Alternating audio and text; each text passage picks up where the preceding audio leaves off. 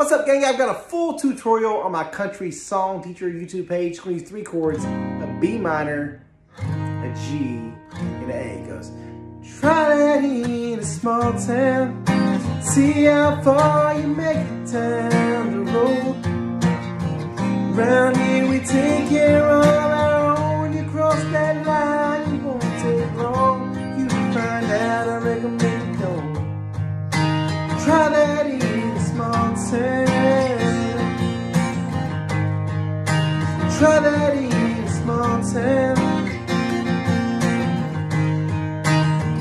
I got a free PDF on my website. Go to countrysongteacher.com. As soon as you get on there, type in your email address, get a free PDF of this song with a lesson tutorial with it. Let's go.